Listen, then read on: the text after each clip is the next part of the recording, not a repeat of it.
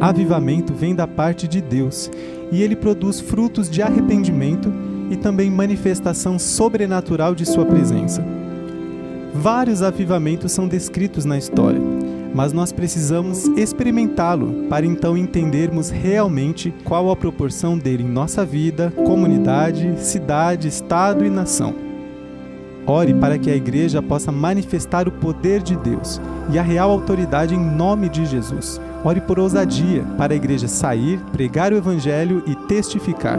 Ore para que os cristãos possam ser ousados, orando por enfermos e vendo a cura, assim como Deus disse em Sua palavra que aconteceria.